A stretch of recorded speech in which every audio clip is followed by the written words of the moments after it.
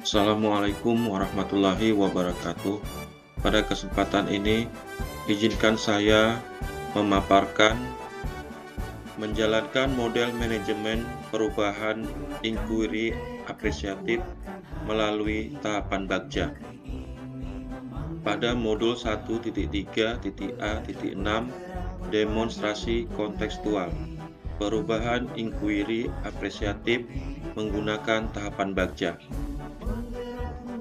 Perkenalkan nama saya Rahmat Permana SPD dari SD Negeri Alusentang, calon guru penggerak angkatan 7, Kecamatan Birimbayen, Kabupaten Aceh Timur, Provinsi Aceh. Dengan fasilitator Ibu Meliana, dengan pengajar praktik Bapak Azwar Malik Rangkuti, dan saya sendiri calon guru penggerak Rahmat Permana.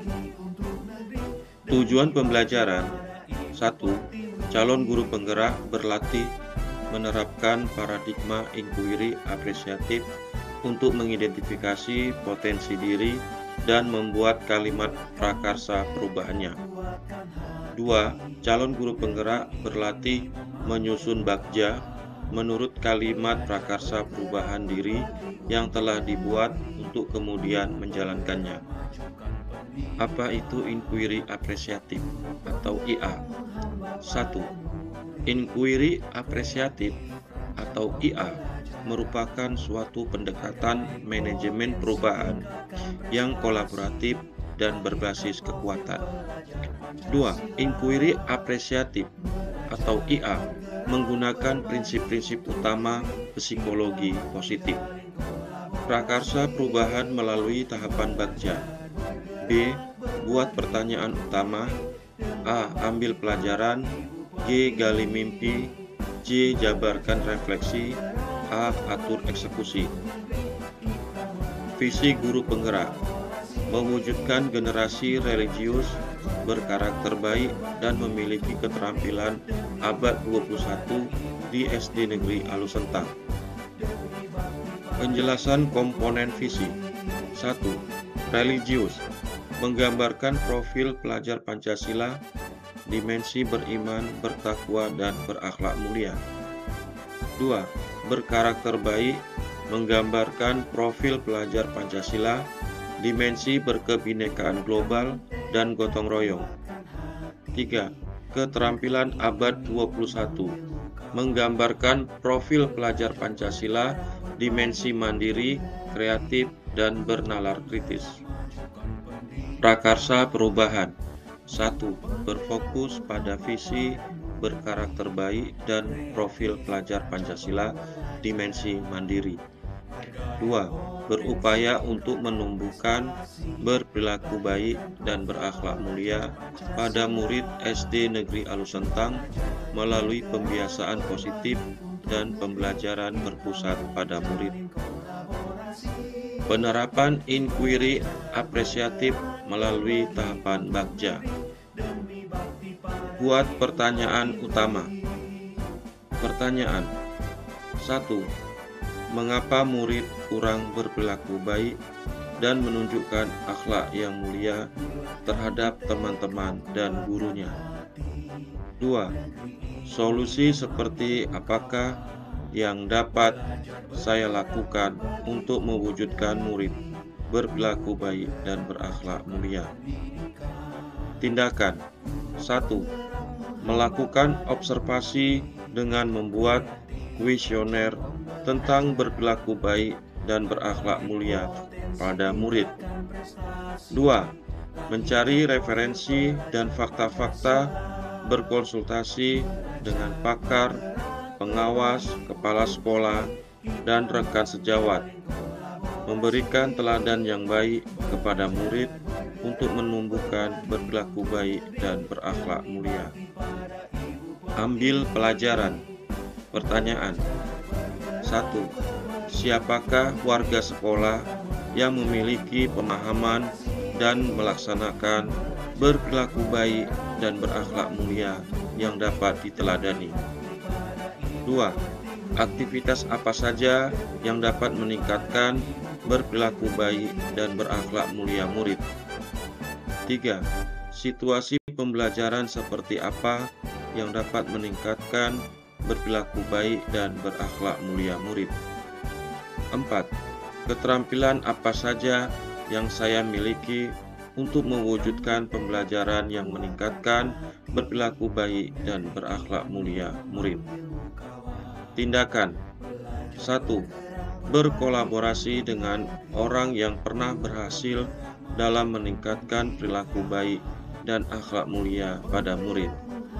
2. Melakukan wawancara, survei pengalaman, menggali pendapat dari guru, kepala sekolah, pengawas, orang tua, dan tokoh masyarakat. 3. Menerapkan pembelajaran yang mengandung nilai-nilai berperilaku dan berakhlak mulia pada murid. 4. Menceritakan kepada murid bahwa dengan berperilaku baik dan berakhlak mulia dapat membawa perubahan positif pada dirinya. Gali mimpi Pertanyaan: Bagaimana perasaan saya ketika melihat murid saya sudah bisa meningkatkan berperilaku baik dan berakhlak mulia? 2. Hal-hal apa saja yang dapat mendukung agar sifat berperilaku baik dan berakhlak mulia murid terus meningkat? Tindakan 1 menjadikan kelas dan lingkungan sekolah adalah milik bersama, sehingga murid dan guru merasa aman dan nyaman. 2. Membuat daftar kegiatan baru dan berkelanjutan secara optimal untuk potensi berperilaku baik dan berakhlak mulia pada murid secara periodik. Jabarkan rencana. Pertanyaan: 1. Apa langkah yang harus dilakukan untuk tetap meningkatkan perilaku baik dan akhlak mulia pada murid? 2. Berapa lama target waktu untuk mencapai berperilaku baik dan berakhlak mulia murid?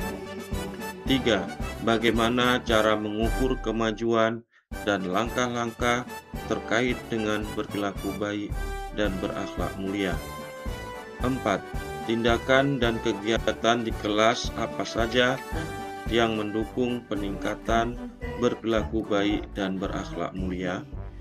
5. Bagaimana cara menjaga semangat guru memfasilitasi penumbuhan berperilaku baik dan berakhlak mulia murid. Tindakan 1.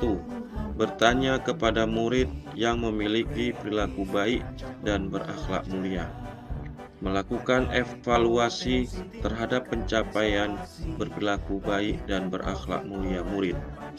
3. Menyusun strategi pembelajaran dan kegiatan pembiasaan terhadap murid. 4.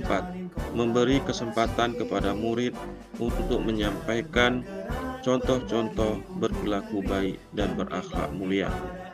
5. Memberikan pemahaman memomong murid seperti anak kandung sendiri. Jadi, menumbuhkan perilaku dan akhlak mulia murid tanggung jawab bersama. Atur eksekusi. Pertanyaan 1.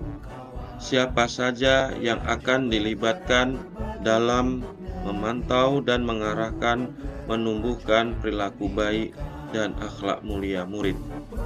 2 Kapan rencana pelaksanaan program peningkatan berperilaku baik dan berakhlak mulia murid akan dimulai?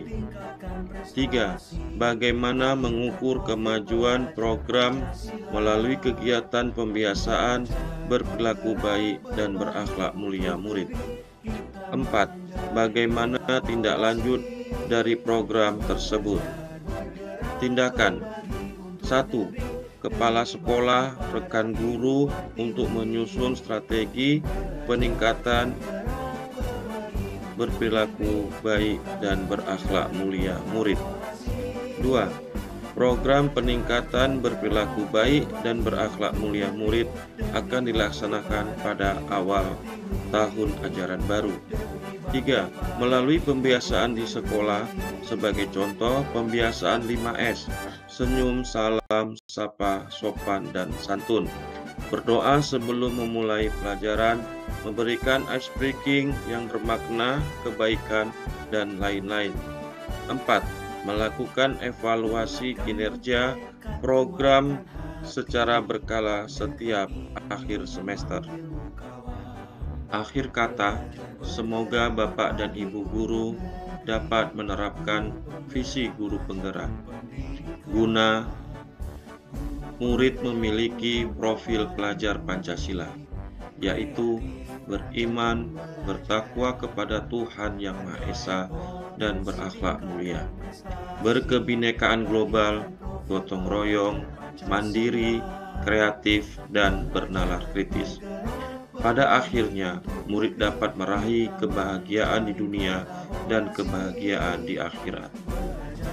Begitu sulit lupakan murid karena muridku baik begitu susah cari gantinya makanya harus dirawat buah mentimun buah sirsa guru menuntun guru penggerak.